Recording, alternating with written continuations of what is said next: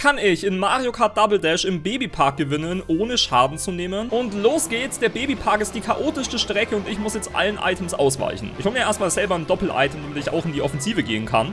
Und zack, sehr gut. So, die erste Runde haben wir schon überstanden und ich habe selber jetzt einige Panzer und da kam schon ein Ei an, aber ich habe es abgeblockt. Und ne, da kommt eine rote, aber ich habe sie auch abblocken können. Man muss natürlich auch ein bisschen Glück haben, das ist klar. Weil hier kommen so viele Items angerauscht. Ich habe selber auch noch einen Bowser-Panzer, den ich nach hinten hauen kann. Der war nicht schlecht. Und gleich noch einer. Rot. ich kann von dem auch selber getroffen werden, also ich muss ein bisschen aufpassen. Oh Gott. Ganz vorsichtig. Okay, okay. Oh, da ist ein Stern, den will ich haben. Okay, Stern ist natürlich perfekt. Jetzt kann ich erstmal keinen Schaden mehr nehmen. Wunderbar. Okay, Runde 5. Drei Runden fehlen noch. Und ich habe wieder ein paar Panzer und kann die nach vorne schießen. Und hoffentlich jemanden treffen, aber nicht mich selber.